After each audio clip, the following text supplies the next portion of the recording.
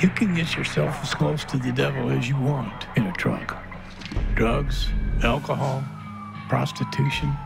It's like Sodom and Gomorrah out there. After decades of emptiness, I knew I wanted something more. I knew this guy who was a big drug dealer. He had a long criminal record. But I couldn't deny that he was different now, a lot different. He invited me to a men's retreat. I saw what was happening, but no way was I going to the front. Something on the inside changed. For the first time in 50 years, I liked myself.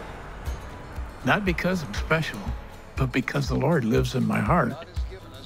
God strengthens me every day as I listen to Dr. Stanley. I've told a lot of guys about him, about the encouragement he gives me on the road. My whole life, I was running the show, and I was a complete mess. But now the Lord's using me with people who were just like me. It feels so good to say, wherever I travel, it's with Jesus